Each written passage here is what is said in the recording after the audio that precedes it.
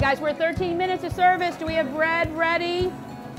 So our practicum of culinary arts students are preparing for lunch here at KCAL. We serve lunch Monday through Thursday from 11 to 1 to both the student body here and our staff and hopefully uh, some community members. We switch our menu almost every day um, and we, we switch our cuisine or style of service every week. So it's, it's a, there's a lot of moving parts and, and it moves pretty fast paced. We're actually learning on our feet, which presents its own set of challenges at times.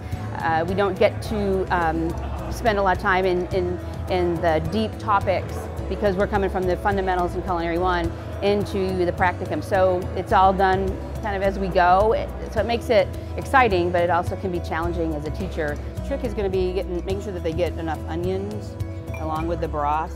I'm a pretty positive person. I do tend to look at the bright side.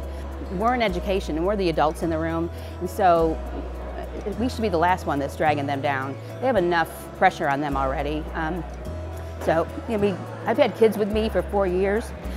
Seeing them from the swirly freshman up until the, the, the graduate, super proud of so many of them that they've gone on, not necessarily even in the hospitality and tourism industry, but in whatever it is that makes their heart sing.